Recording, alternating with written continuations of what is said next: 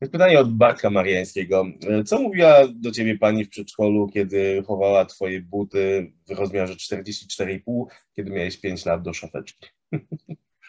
No Bartek trochę podkręcił, podkręcił to, to opowieść, ale e, tak, ja zawsze, zawsze opowiadałem, że, że w przedszkolu nigdy moje buciki się nie mieściły do szafeczki takiej klasycznej.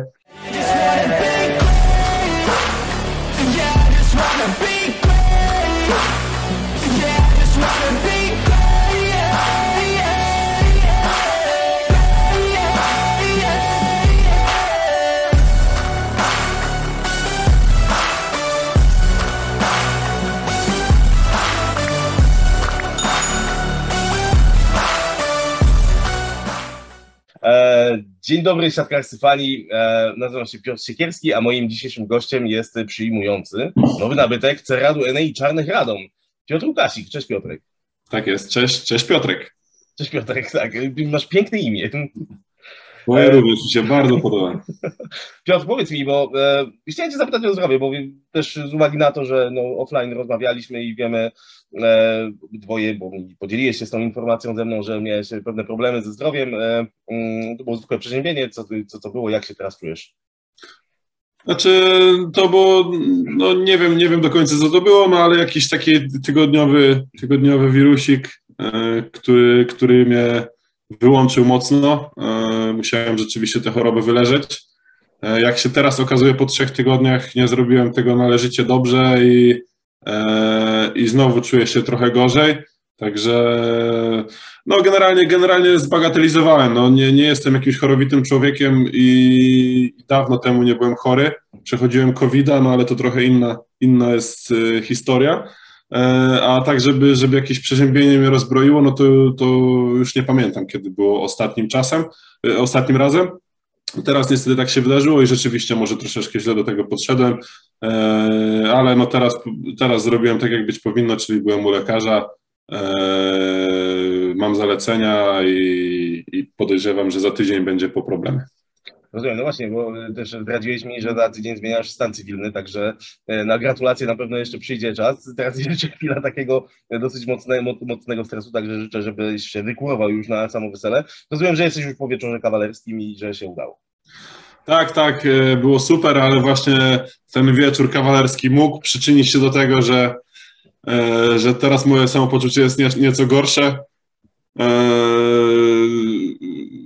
wiadomo jak to jest, no, w nocy gdzieś tam ubiór, ubiór nie, nie do końca taki jak być powinien, e, no i też e, na wieczorze kawalerskim, kto miał ten wie, e, że, że gdzieś tam na dalszy plan schodzą takie tematy jak, jak zdrowia, najważniejsza jest dobra zabawa i spędzenie czasu z, z przyjaciółmi, z tymi, co, co chcieli ten wieczór z tobą spędzić. Dokładnie tak, potwierdzam. Powiedz mi, Piotrze, bo y, zeszły sezon spędziłeś w Ślepku Malow Suwałki z, razem z drużyną z mm, Suwałk, zajęliście 12 miejsce. Ty wystąpiłeś w 23 spotkaniach, bazując na statystykach plus ligi. Natomiast chciałbym odjąć sześć, w których grałeś epizodyczną rolę. I chciałem Cię dopytać, jak Ty z perspektywy czasu oceniasz y, ten sezon spędzony na północy Polski? Znaczy, ogólnie sportowo, no to, to, to wymagałem od siebie dużo więcej. Dwa, dwa poprzednie sezony w Kędzierzynie Koźlu, gdzie e, wiadomo, jakie sukcesy ta, ta drużyna osiągała, nie odgrywałem, no można powiedzieć, żadnej roli. Natomiast gdzieś tam e, musiałem walczyć o swoje zdrowie. Jak, jak wreszcie e, to zdrowie stabilizowałem, to, to starałem się, żeby żeby dorównać poziomem chłopaków i uważałem, że te dwa lata dały mi bardzo dużo siatkarsko i opuszczam Kędzierzyn jako lepszy zawodnik. E, miałem ku temu podstawy i nie mogłem się doczekać na, na nowy sezon w innym klubie, no, e, w tym wypadku w Ślepsku Malów Suwałki. Miałem olbrzymie oczekiwania wobec siebie. No i początek sezonu E, początek sezonu rzeczywiście grałem, grałem nieźle. E, mogłem od siebie wymagać więcej, ale gdzieś tam zawsze się zastanawiałem, czy to przypadkiem nie jest to, że, że brakuje mi jednak tego boiska, tak? Bo dwa lata, dwa lata nie grałem prawie nic. Mm, I, i no nie, nie dowiem się, czy, czy gdybym tego boiska dostał, tego zaufania dostał troszeczkę więcej, yy, kilka meczy więcej w, w podstawowym składzie z większym zaufaniem, może, może by to, to coś ekstra yy, pojawiło się w mojej grze, a może nie, ale do tego się nie, tego się nie dowiem. No i drugą część sezonu rzeczywiście tak jakby przestałem, przestałem w kwadracie yy, i no co cały czas się skupiałem na treningu, yy, robiłem, robiłem swoje, starałem się robić swoje, starałem się pomóc drużynie jak, jak mogłem, ale no, podsumowując sportowo, yy, oczekiwałem od siebie dużo więcej po tym sezonie. No ale ta, ta cała sportowa złość, czy powiedzmy taka irytacja stanem rzeczy przechodzi na sezon następny. E, już, już byłem w, w takich trudnych sytuacjach, gdzie, e, gdzie nawet cztery kolejne sezony było jakieś zwątpienie, e, czy, czy jestem w dobrym miejscu, czy, czy to, co robię, ma sens, czy, czy jeszcze coś kiedyś fajnego, fajnego w siatkówce zrobię, osiągnę. E, no ale było warto. Myślę tutaj o, o czterech latach, e, w, poczynając od Olsztyna, od kontuzji, poprzez dwa lata w Siedlcach, gdzie tak naprawdę w pierwszej lidze nie byłem ważną postacią, a gdzieś tam ten pik w górę, który zakończył się debiutem w reprezentacji Polski, no i, i transferem do, do najlepszego klubu w, w Polsce, e, pojawił się jak się okazało. I w Europie, dokładnie. E, pojawił, pojawił się w ostatnim roku, kiedy byłem w Siedcach, e, zdobyliśmy brązowy medal, potem Bielsko, Warszawa i rzeczywiście transfer do Kędzierzyna, także te trzy lata e, jako indywidualny zawodnik mogę uznać za, za bardzo udane. Byłem, byłem zdrowy, grałem przez całe sezony. Może z Bielskiem chciałem utrzymać ten zespół w lidze. To był mój cel, kiedy tam szedłem, bo wiedziałem, że że drużyna e, potencjałem będzie gdzieś tam w dole tabeli, ale no moim celem idąc tam było, żebyśmy nie spadli, tak jak wszyscy to wieścili. Niestety się nie udało, ale teraz bardzo się cieszę, bo Bielsko wróciło do ligi. Uważam, że ten zespół zasługuje na plus ligę. Miasto jest piękne, bardzo dobrze wspominam czas tam. Eee, więc tak, a wracając do głównego wątku, E, ja się nie, nie poddaję. E, teraz był gorszy sezon. Poprzednie dwa zdrowotnie były słabe. Teraz miałem, e, miałem zdrowie. Siatkarsko nie wyszło tak, jakbym chciał, ale mamy rok następny i, i walczę. Cały czas walczę o to, żeby, żeby grać tak, jak ja bym od siebie tego oczekiwał. Okej, okay. tego życzę. Piotr, bo ja myśląc o Ślepsku i o generalnie patrząc na linię przyjmujących, ja miałem wrażenie, że u was była ciągła rotacja. Bo był Kevin Klinkenberg, był Adrian Buchowski, Paweł Halaba ale i, i, także twoja, twoja osoba i mam, miałem wrażenie, że trenerzy, zarówno Andrzej Kowal, jak i Kwapek cały czas z wami rotowali. Czy to też nie rzutowało gdzieś w jakimś stopniu na waszą formę w przyjęciu?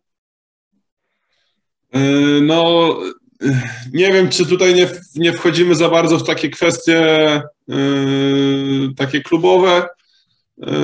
No, my mamy swoje przemyślenia.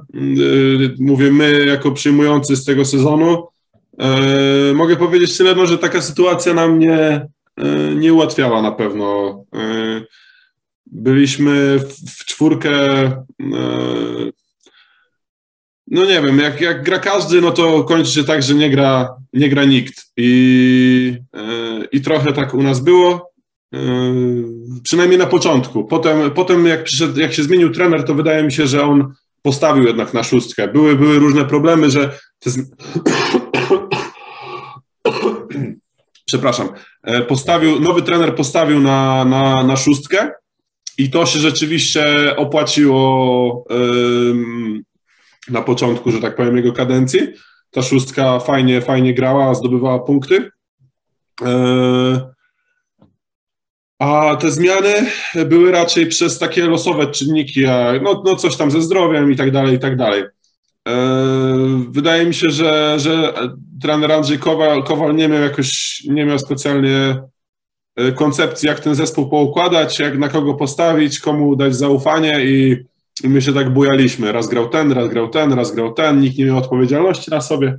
I tak mecze, mecze płynęły, a rzeczywiście formacja przyjęcia w tym sezonie nie ma co oszukiwać, zawiodła w naszym zespole.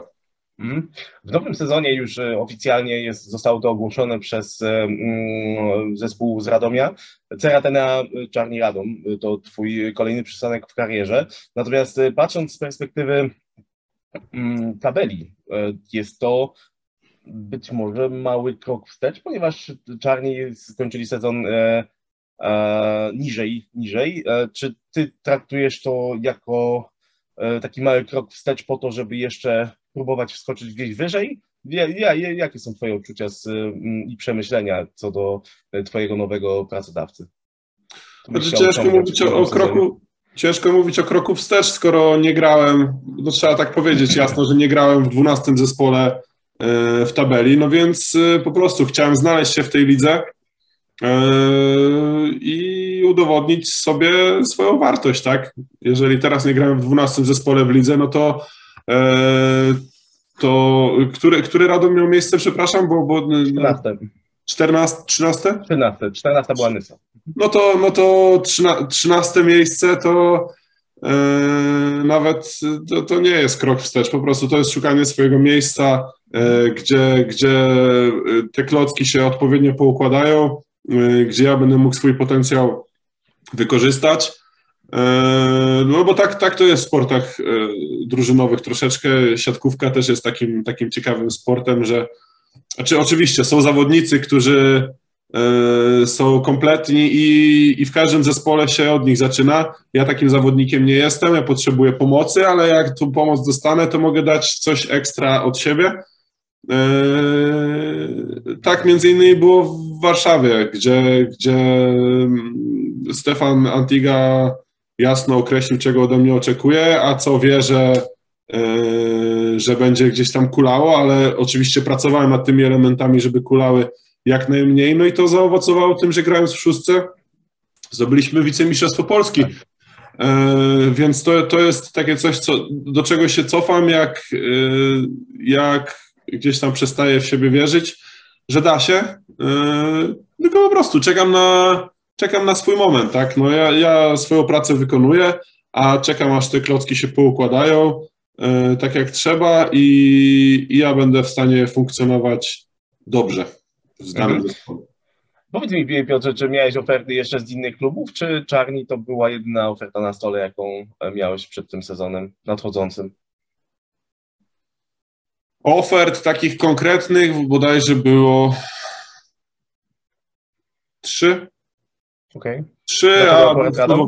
Słucham? Dlaczego akurat Radom?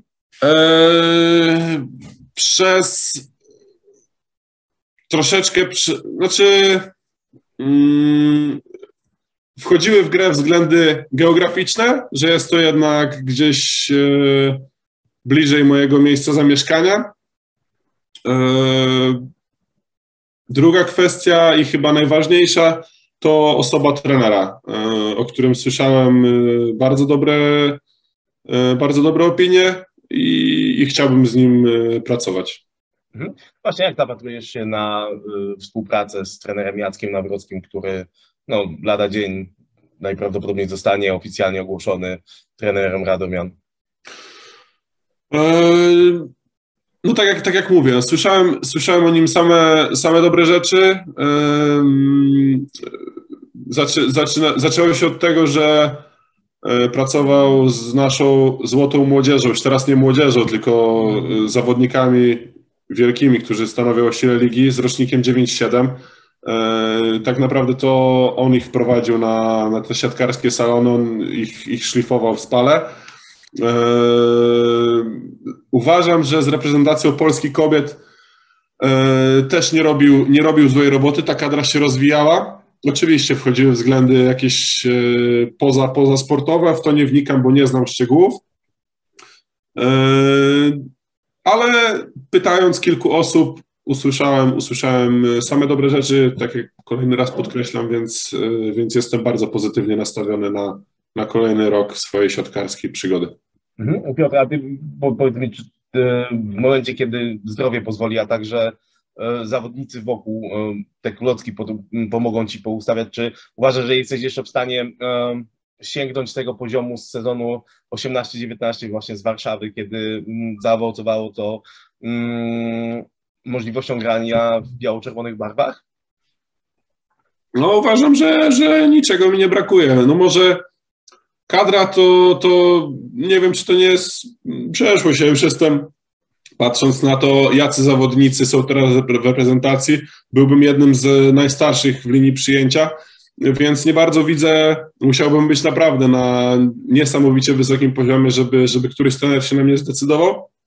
Eee, no bo mamy co, młodszych z, z, potencjałem, który można wykorzystywać, więc to tak nawet y, bez sensu było powoływanie takiego zawodnika wiekowego, bo już za rok będę miał 29 lat, więc y, mówię tutaj o tym, że mamy, mamy Szymańskiego na mojej pozycji, mamy, no nie wiem, już nie mówię o Fornalu, Semeniuku, Śliwce, którzy są w tej kadrze od lat, także załapać się do, do naszej kadry, która będzie bardzo mocna, yy, będzie bardzo ciężko, Yy, ale mm, w lidze dlaczego nie? No, chciałbym, chciałbym zagrać pełny sezon na pełnym dystansie, yy, zdobywać dla zespołu punkty, ważne punkty i, yy,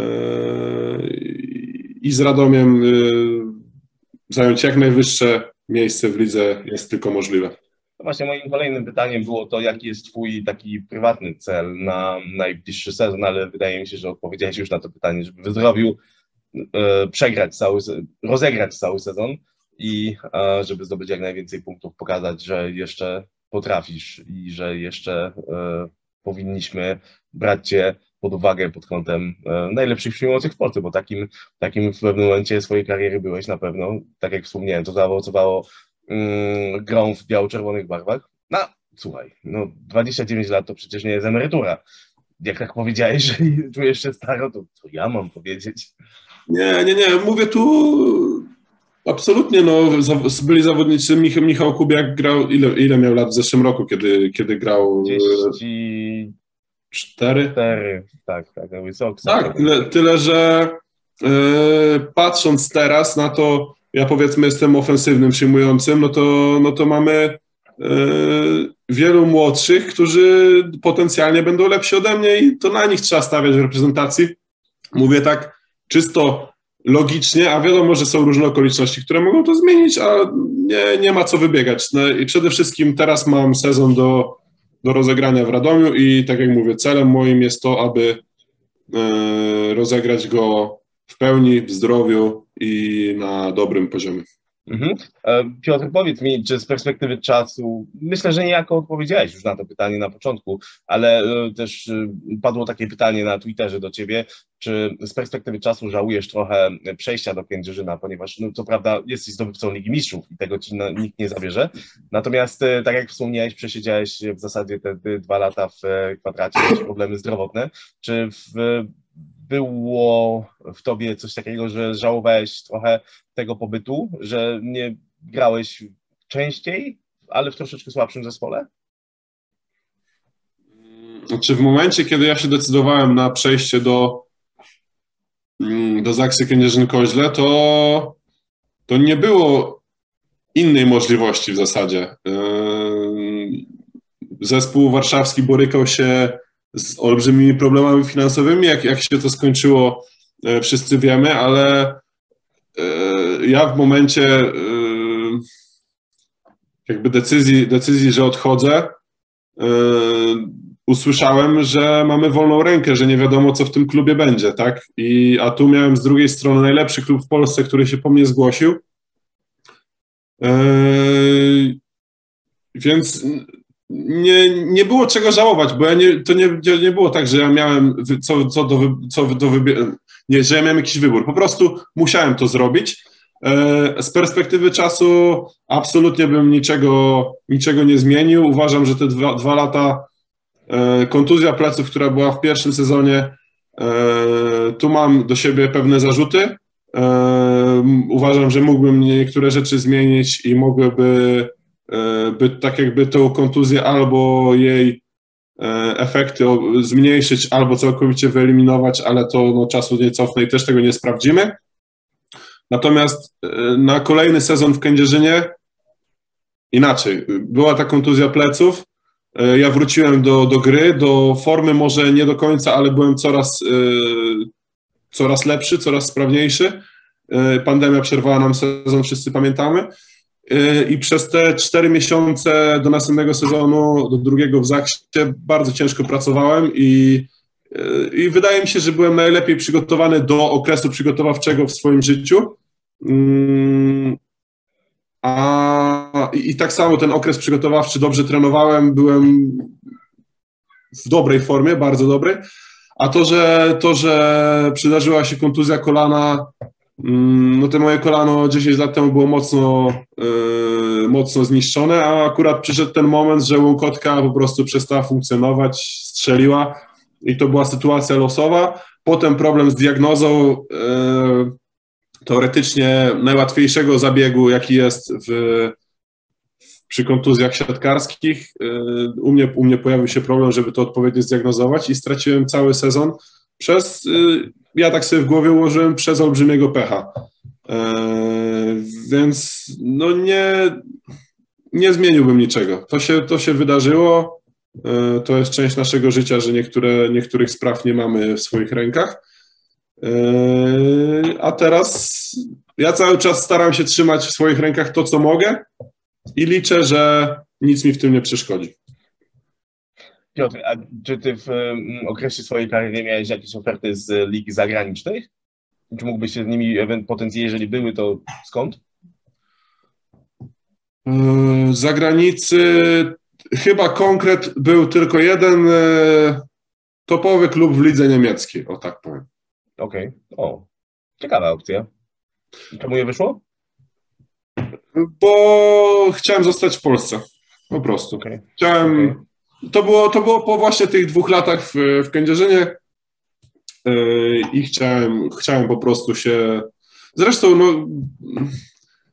Gdzie wyjeżdżać? No, mamy, no nie wiem, czy jeżeli Zaksa wygrywa drugi raz Ligę Mistrzów, jest najlepszym klubem w Europie, to czy my musimy gdzieś wyjeżdżać. Mamy najlepszą ligę w Europie. Dzięki, dzięki naszym reprezentantom z Kędzierzyna można tak powiedzieć, można taką tezę e, wysnuć i, i no, to trzeba się cieszyć, że my jako Polacy możemy w domu grać i, i grać z najlepszymi zawodnikami na świecie. Mhm. W pełni się zgodzę. A, wraca jak bumerang, e, przynajmniej w social mediach, e, temat marketingu plus ligi, który w odczuciu wielu ludzi jest e, mocno zaniedbany przez to, że no, nie pojawia się zbyt wiele ciekawych materiałów.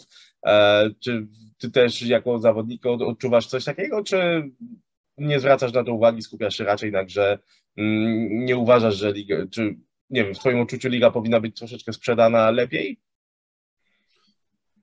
E, chyba to jest kwestia, w której nie mam zdania. Jakoś okay. nigdy te e, kwestie marketingowe jakoś tak są poza mną. E, ja też swojego marketingu jako takiego nie, no nie, nie prowadzę tak, jak mógłbym. W sensie mówię tu o Instagramie, nie dbam o to. Wiem, że w dzisiejszych czasach jest to bardzo ważne i można na tym tylko zyskać. E, no, nie tylko zyskać, można też stracić, jak się porobi jakieś błędy. I ja chyba nie chcę, e, nie chcę jakiegoś takiego ryzyka podejmować, więc nie dzielę się swoim życiem e, na Instagramie i mój, mój jakiś taki marketing indywidualny jest mocno zaniedbany. Okej. Okay. My się, my się tobą trochę podzielimy za to, jako Volley Time, także pozwolę sobie. Piotr, powiedz mi, też pojawiło się pytanie takie, skąd u Ciebie takie nietypowe najście do ataku? Ja mam czasami wrażenie, że to, to, wygląda w ten sposób, jakbyś chował klucze od domu do kieszeni, a później się zorientował, o kurde, muszę uderzyć piłkę. Bam! Oczywiście pół żartem, ale czy to jest jakaś pewnego rodzaju naleciałość z mm, kadeta, młodzika, juniora, czy tak się nauczyłeś i tak zostało? Jak, jak, czy pamiętasz w ogóle ten moment, kiedy, kiedy to się pojawiło? To jest taka moja E, moja zagadka życiowa.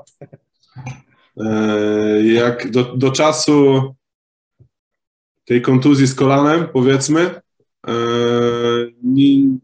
nikt mi nie zwracał uwagi, że, że coś się dzieje, że coś jest nie tak. Byłem normalnym, normalnie rozwijającym się siatkarzem. Ten atak wyglądał tak, jak, tak jak powinien. I właśnie kontuzja więzadła krzyżowego spowodowała, że rok nie grałem w siatkówkę.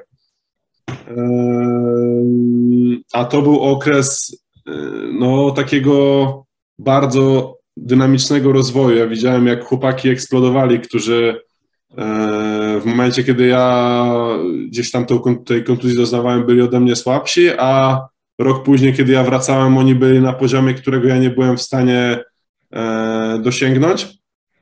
E, no i, i przez ten rok coś się zmieniło. Ja, ja, potem, potem byłem w składzie, w składzie Plus Ligi i tak naprawdę nie było czasu, żeby coś zmieniać, tylko ja sobie wróciłem, ja grałem tak jak grałem, nikt niczego nie zmienia i, i to się tak, ten, ten dziwny, dziwny nawyk tak się ukształtował. Um, i nie wiem, bo to jest, to jest trochę, jak, jakbym, jakbym, jak ja patrzę na wideo, jak atakuje, no to trochę jak e, przy pływaniu, jak ruch kraulem, nie? Tak, tak, tak, tak. tak. E, I ja wiem, że wtedy, kiedy miałem kontuzję tego więzadła, bardzo dużo pływałem, e, bo to też był element rehabilitacji, też ze względu na moje plecy. To jest jedna z moich hipotez, że ten ruch mi się zmienił, co jest bardzo dziwne, e, ale generalnie, no jak to jest z nawykami, jak wróciłem, i zacząłem tak atakować, bo tak moje ciało chciało to robić. E, a nie było trenera, który mnie przystopował w tamtym momencie, no to ten nawyk się ukształtował. Ja, ja znalazłem sposób, żeby być skuteczny nawet z tym ruchem.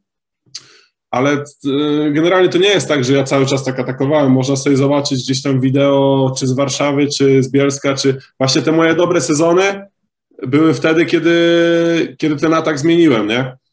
E, I tak naprawdę no to, to, jest, to jest długa historia. Ja sam w głowie sobie układam, e, co się dzieje, nie? Co, co jest nie tak, dlaczego? Przecież ja nie chcę tego robić. E, wyeliminowałem już ten, ten znaczy zmieniłem formę ataku i to trwało w sensie ostatni sezon w Siedlcach, w Bielsku i w Warszawie atakowałem normalnie, a potem znowu coś było nie tak. I no to, to jest pytanie, na które nie znam odpowiedzi, sam sobie je zadaję eee, i może nigdy nie poznam odpowiedzi, a może kiedyś coś się zdarzy, że poznam, zobaczymy. Okej. Okay. Piotr, chciałem przejść do szeregu pytań, jakie dostaliśmy, e, jako, jakie dostałem e, na jednym z forów siatkarskich. E, ty już znasz te pytania, bo już brat ci je sprzedał, także, także myślę, że jesteś na nie gotowy. E, pierwsze z nich to dlaczego Patryk Skup miał ksywę dupa? A to, to jest pytanie właśnie, nie wiem czy do mnie skierowane, bo ja nie pamiętam tego. E, ale to pewnie wiąże się z jakąś zabawną anegdotką, e, ale no niestety nie pamiętam. Okej, okay, dobrze. E, powiedz mi, Karol Butryn i Jakub Bucki, o którym zawodniku z czasów gry w Siedlcach mówiło się, że ma większy potencjał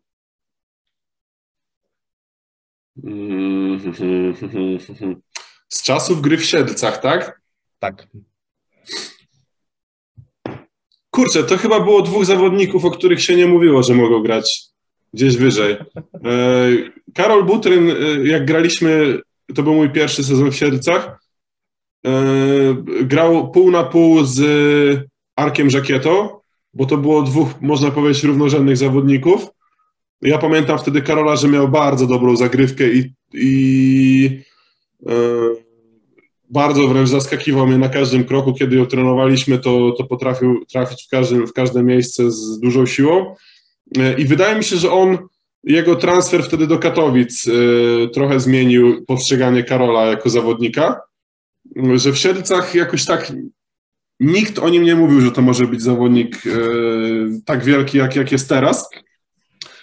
A y, Kuba Bucki, kiedy przychodził do Siedlec, też mi, no bardzo mi imponował. Zastanawiałem się zawsze, czemu on nie gra wyżej, ale jednak to już był zawodnik, który y, mając wtedy, oj, no nie chcę rzucać, to trzeba sobie policzyć, ile miał wtedy lat, ale gdzieś tam się bujał po ligach takich mniejszych i, i coś, nie wiem, no, no ktoś, nie chcieli mu dać szansy po prostu, że, że cały czas gdzieś tam był na uboczu tym siatkarskim jednak ja go cały czas postrzegałem jako zawodnika, który śmiało może grać w Plus Lidze. No i tak się stało, że razem po, po roku w Sierpcach yy, po roku w Siedlcach zagraliśmy w Bielsku i on tam też konsekwentnie walczył o swoją pozycję i pamiętam, że to z nim na boisku wygrywaliśmy te nasze całe pięć meczy chyba, czy sześć w tamtym sezonie. Myślę, że, że to było, że dwóch tych zawodników było bardzo dobrych, ale nikt jakoś tam nie, szu nie szukał ich gdzieś wyżej, nie? Ciekawe, bo w sumie no, Karol Butren utrzymuje swoją no, znakomitą formę już no, chyba czwarty sezon, jeżeli dobrze, dobrze, dobrze liczę, bo przecież e, teraz e, Olsztyn, a sezon w Rzeszowie, no i wcześniej Katowice, także... E... No, ja, osobiście, ja osobiście uważam, że on nie zagrał, od kiedy jest Plus Lidze, nie zagrał średniego sezonu. Wszystkie są dobre. Tak, no To już jest, nie wiem, nie wiem, czy nie 7 lat, czy nie 6, bo w Katowicach spędził chyba 3 lata. W każdym roku mu ściągali teoretycznie jedynkę, on miał być dwójką, a, a grał, nie? A grał całe sezony i nie zawodził. E, no Karol to absolutnie e, taki top, jeżeli chodzi o atakujących e, w lidze.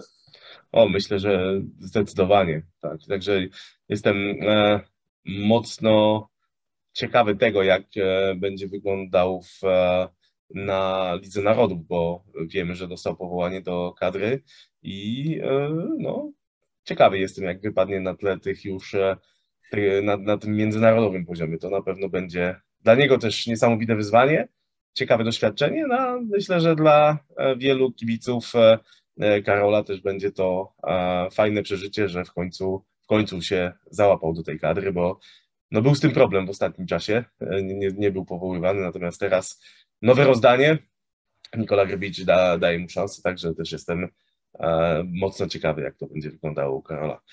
E, Piotr, e, pytanie o turniej World Tour e, Warmia Mazury 2017.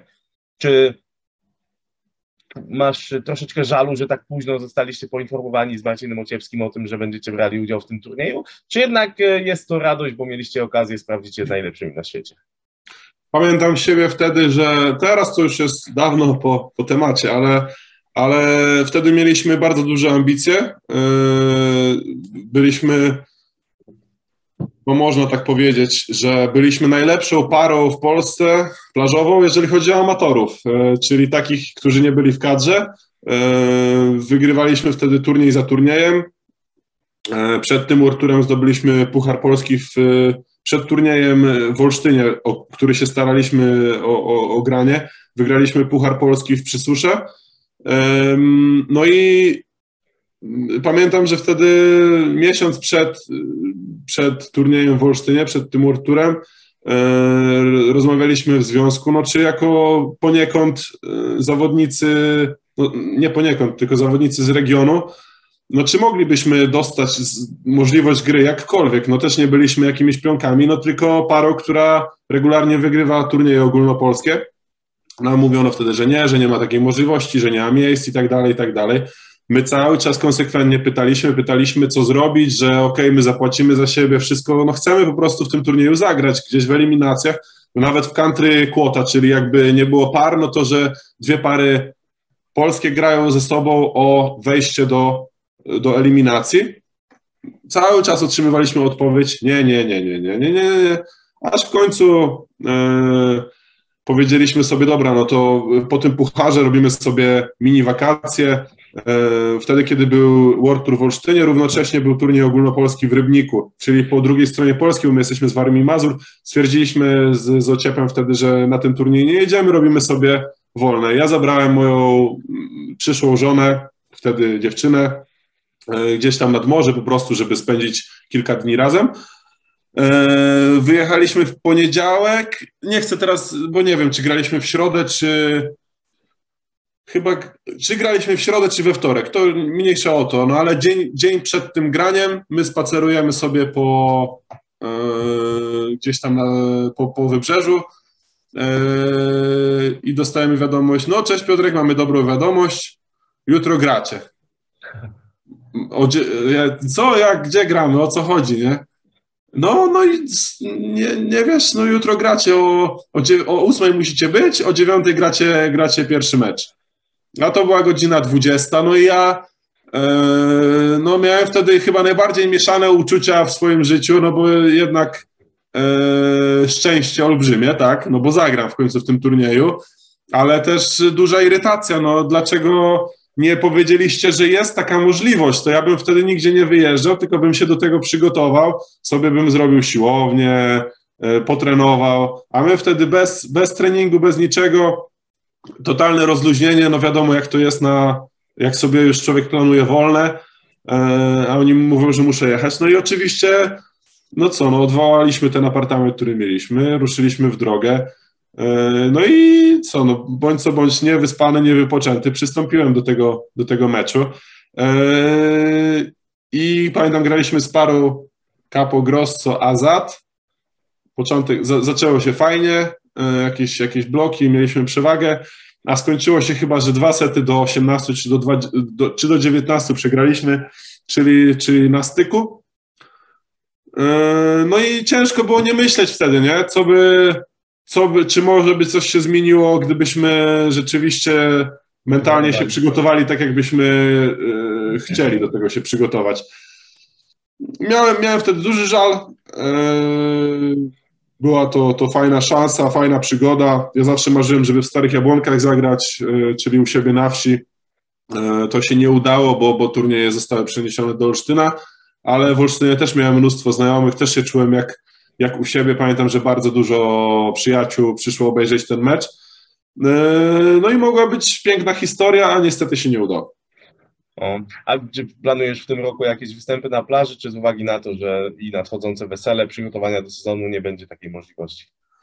E, tutaj e, bardzo dobry, mam bardzo dobry kontakt z Mateuszem Czunkiewiczem w zespole. On, on bardzo lubi plażówkę e, i tak od połowy sezonu mnie, mnie namawiał, że chodź, zagramy, chodź, zagramy, chodź, zagramy. I przez to, że wydaje mi, się, wydaje mi się, że pół sezonu nie grałem, to mam taki głód po prostu rywalizacji jakiejkolwiek, a w plażówce no siłą rzeczy na tym boisku trzeba robić wszystko, bo, bo jest nas dwóch, więc zawsze kontakt z piłką jest. Ja tego potrzebuję, więc e, akurat dzisiaj jedziemy na turniej nocny do, e, do Białego Stoku. E, I planujemy zagrać jeszcze w Starych Jabłonkach właśnie, bo, bo siatkówka plażowa wraca, wraca do mojej miejscowości nie na światowym poziomie, ale na ogólnopolskim, co też mnie bardzo cieszy. I planujemy jeszcze zagrać turniej e, w Suwałkach, kończący poniekąd sezon plażowy, bo to już będzie e, ostatni weekend przed przygotowaniami do sezonu halowego. Także, także planuję, regularnie sobie trenujemy, nie jest, nie jest łatwo trenować, kiedy maj jest, ja tak mówię, że kurczę, takiego maja brzydkiego nie pamiętam, nie wiem, czy tak jest w całej Polsce, no ale u nas, u nas w Suwałkach pogoda jest tragiczna, no, nie, nie zachęcająca na pewno do jakiegoś wysiłku na dworzu, ale staramy się gdzieś tam siłownie i, i tą plażówkę wciskać, kiedy, kiedy tylko się da. Mhm. Piotr, padło takie pytanie. Iława, Ostruda, Olsztyn, Stare Jabłonki. E, co jest letnią stolicą i dlaczego? Warmii i Mazur, tak? Iława, Ostruda, Stare Jabłonki i Padolsztyn, czy nie? Tak, padł Olsztyn również. No... E, no, ja bym powiedział, że Olsztyn, no bo to jest chyba moje ulubione miejsce. E, Wiadomo, że no stare jabłonki, stare jabłonki były stolicą w trakcie Mistrzostw Świata. To e, ja jako, jako mieszkaniec to, to taką scenę mam, jak właśnie z, z Natalią szliśmy bodajże na dworzec po jej mamę i w, kiedy u mnie na wsi się idzie na dworzec i się spotka trójkę, trzech, trzy osoby, cztery, to już znaczy, że jest ruch na wiosce, tak? A tu szedłem i ze strony dworca szedł tłum ludzi. I my tak się przepychaliśmy jak na, nie wiem, jak y, wieczorem na Monciaku czy na głównych y, ulicach w Warszawie. Trzeba było się przeciskać przez tych ludzi, tak było całą drogę. Tłumy waliły e, na plażę, żeby zobaczyć dzień finałowy Mistrzostw Świata i to było takie no, piękne uczucie, że cała Polska przyjechała do mnie na wieś, e, żeby być świadkiem tego wydarzenia więc wtedy na pewno Jabłonki były stolicą. A ogólnie Olsztyn. Olsztyn jest, jest super miastem, jednym z moich ulubionych w Polsce. Nie brakuje, nie brakuje niczego, szczególnie po remoncie plaży miejskiej. Lubię tam spędzać czas. Super. Czyli jakby pojawiła się oferta z zespołu Warmii i Mazur, to na pewno byś skorzystał. E, nie na pewno, ale no, to, są, to są trudne pytania i, e, i nie tylko względy mieszkaniowe wchodzą w grę, więc nie mogę powiedzieć na pewno, ale, ale z pewnością bym to przemyślał. Jasne. Jest pytanie od Bartka Mariańskiego. Co mówiła do ciebie pani w przedszkolu, kiedy chowała twoje buty w rozmiarze 44,5, kiedy miałeś 5 lat do szafeczki? No Bartek trochę podkręcił, podkręcił to, to opowieść, ale e, tak, ja zawsze, zawsze opowiadałem, że, że w przedszkolu nigdy moje buciki się nie mieściły do szafeczki takiej klasycznej 44,5 to, to chyba była anegdotka bardziej z komunią i tak to robi wrażenie, że już wtedy miałem taką stopę.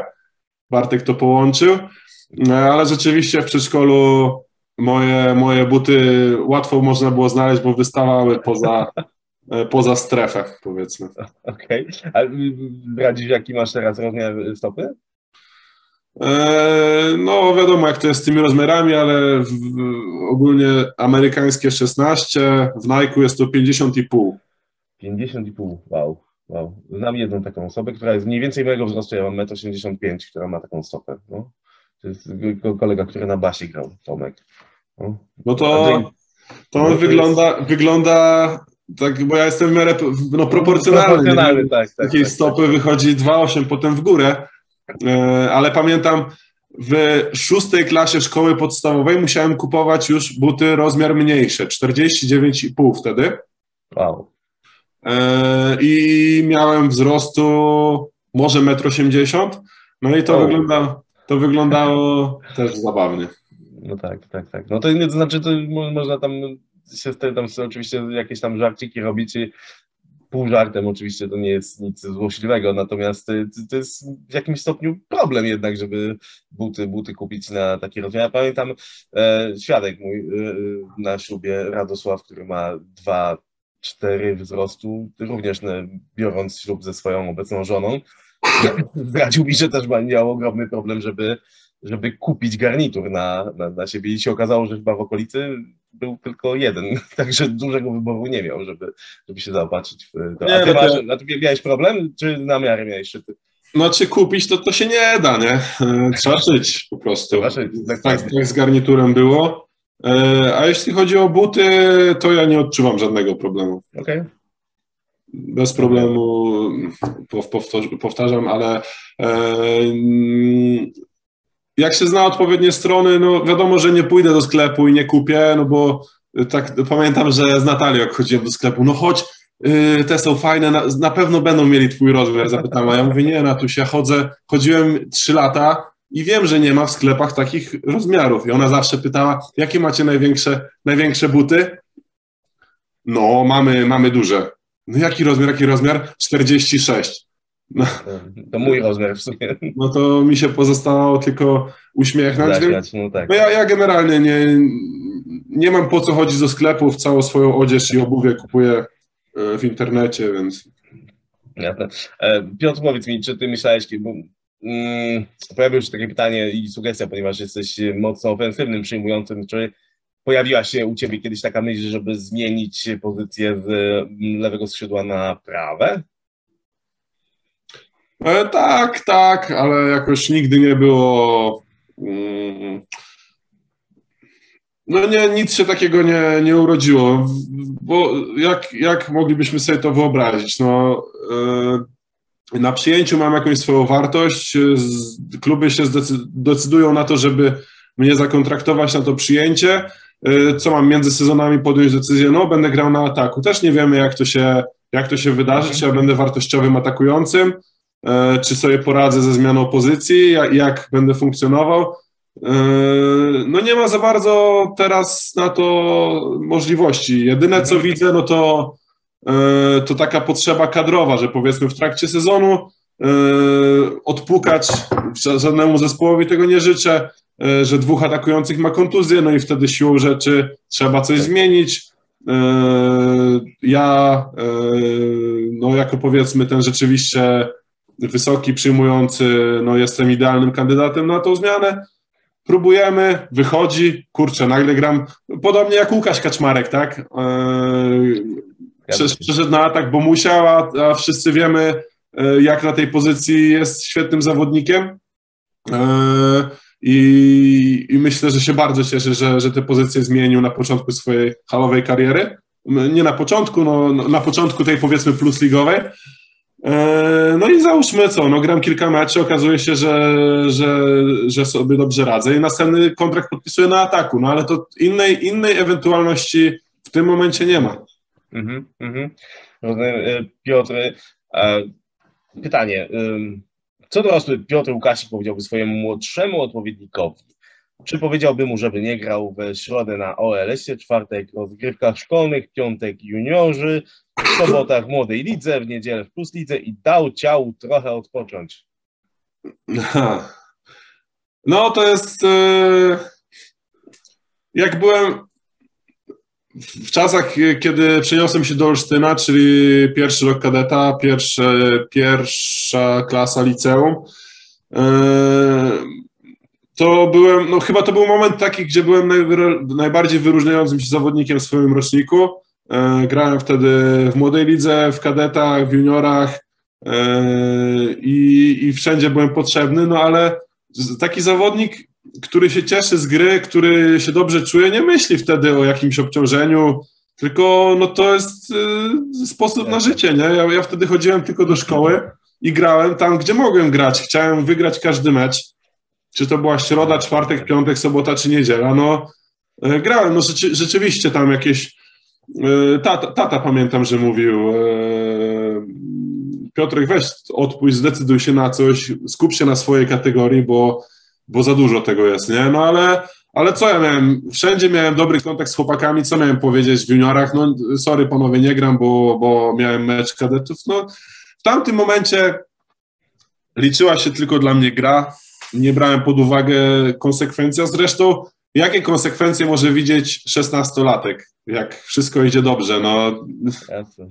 No tak, no, no zgadza się, to jest Mo, mo, mo, jak to się mówi, mądry Polak po szkodzie, to, to dopiero po czasie jednak wychodzą gdzieś tam e, e, te mikrourazy, których człowiek... Jedyne, się, jedyne, co bym, jedyne, co bym zmienił w swoim życiu sportowym i myślę, że mogłoby to mieć dla mnie pozytywny mm, pozytywny efekt, to poszedłbym do spały jednak. Nie, nie postawiłbym na, na szkołę w Olsztynie i, i nagranie w AZS-ie, ale poszedłbym do spały. E, bo, bo no tak, tak czy tak postawiłem na, na sport, chciałem od początku być siatkarzem, ta, no niby byłem w dobrym liceum, ale, ale ta nauka zawsze była tak na, na drugim miejscu. Ja się cieszę, bo bardzo dużo rzeczy się nauczyłem w, w Olsztyńskim Liceum numer 4 i, e, i to też mnie kształtowało jako człowieka. Poznałem super ludzi z innego środowiska. Jednak dla y, rozwoju mojego, moich umiejętności siatkarskich ta spała byłaby lepsza. Hmm. A czy masz w sobie troszeczkę, może nie żalu, ale tak troszeczkę mm, teraz, jak tak myślisz właśnie z perspektywy prawie 29-letniego zawodnika, że jednak te, ta nadmierna eksploatacja za młodu mogła mieć jakieś przełożenie w tej chwili na te, te urazy, z którymi się też borykałeś w ostatnich latach? E, tak długo tak było. Może nie, nie, nie ta eksploatacja, ale e, nie, generalnie miałem jak, jakiś taki żal, nie, nie wiadomo do kogo, ale że tak się ułożyło, że dlaczego inni mogą sobie grać i nic ich takiego, takiej przykre, takie przykre kontuzje ich nie spotykają. Ale y, no to było w momencie, kiedy gdzieś tam byłem już w Kędzierzynie, no i, i wtedy tak sobie ułożyłem w głowie, kurczę, no były problemy, ale czy ja bym to zamienił na to, co mam teraz? No byłem, byłem wtedy wicemistrzem Polski, reprezentantem kraju i, i zawodnikiem najlepszej drużyny w Polsce, więc trzeba być dumnym z tego, że, że po tym wszystkim się podniosłem i i udało mi się osiągnąć to, co osiągnąłem. I trzeba to docenić, a nie gdzieś tam myśleć, co by było gdyby, czy może byłbym gdzieś wyżej. No nie, nie wiadomo, może w ogóle bym nie grał. Może właśnie to, to że miałem takie kłopoty, dawało mi cały czas kopa, że, że nie, że nie odpuszczam, walczę i, i będę grał. I, I tak naprawdę to wszystko gdzieś tam jest po coś i mnie kształtuje jako, jako człowieka, mm, e, zawodnika też.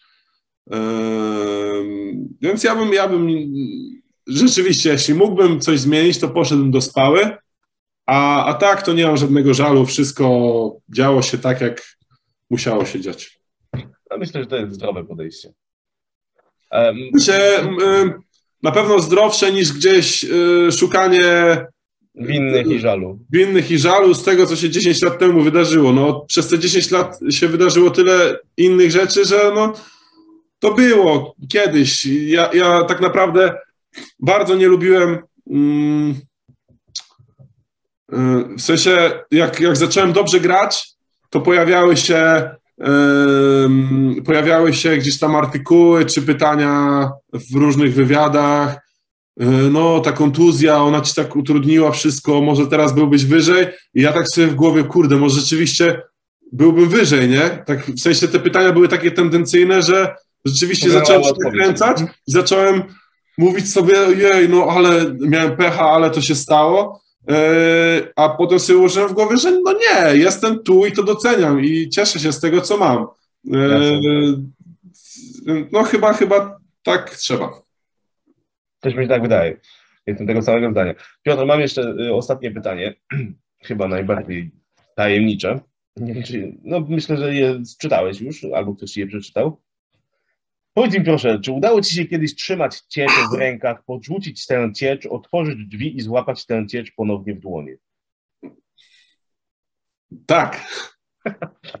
Znaczy, Musisz mi to opowiedzieć teraz, przykro mi. Tak mi, się, tak mi się wtedy wydawało, że mi się udało. Okazało się, że nie, ale wydaje mi się, że e, opowiadałem tę historię e, teraz na kawalerskim, więc to może dać e, znać widzą, jak, może jaka to była ciecz, nie wiem, czy ktoś się domyśli, bo to pytanie jest bardzo zabawnie skonstruowane i kto, kto ze mną spędzał wieczory wśród moich znajomych, to tę historię zna, a wolałbym tego nie puszczać do szerszej publiczności. Jest to bardzo zabawna historia, e, lubię opowiadać, bo sam się z siebie mocno wtedy śmieję, e, ale no nie, nie tutaj może.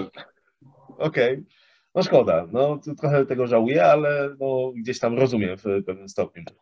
E, Piotr, okej, okay. E, gdzie miesiąc miodowy? Ehm, miesiąc. To będzie całe 12 dni na Gran Canaria. Uuu, cieplutko, cieplutko, przyjemnie. Tak, tak. Jak, jak już zaczęliśmy temat wakacji, to myśleliśmy nad e, Maderą, E, portugalska, portugalska wyspa. E, w sumie lubimy bardzo no, generalnie zwiedzać, chodzić. Dobrze wspominamy wakacje w Chorwacji, gdzie są piękne krajobrazy i ta Madera miała być taką kontynuacją, ale jak się zaczęliśmy czytać, interesować się, jaka tam jest pogoda, że to jest wyspa wiecznej wiosny, no to stwierdziliśmy, że no też chcemy spacerować jednak w ciepełku w upale, tak? Jasne. E, przepraszam. Więc zdecydowaliśmy się na bardziej południowy kierunek i, i padło na Gran Canaria. Okej. Okay. No to dobrze. Cóż, e, Piotr, to było moje ostatnie pytanie, także cóż mi pozostaje e, Tobie życzyć? No, dużo szczęścia w tym ostatnim tygodniu kawalerskiego życia. E, na nowej drodze życia również wszystkiego dobrego, szampańskiej zabawy, e, dużo zdrowia, udanego urlopu i cóż, no i powodzenia w nowym sezonie. Mam nadzieję, że spotkamy się w pewnym momencie na jednej z hal i bijemy piątkę. Dziękuję bardzo również. Wszystkiego dobrego, powodzenia w swojej misji szerzenia i popularyzacji siatkówki. Dziękuję uprzejmie. Do zobaczenia. Będę dalej kontynuował. Wszystkiego dobrego.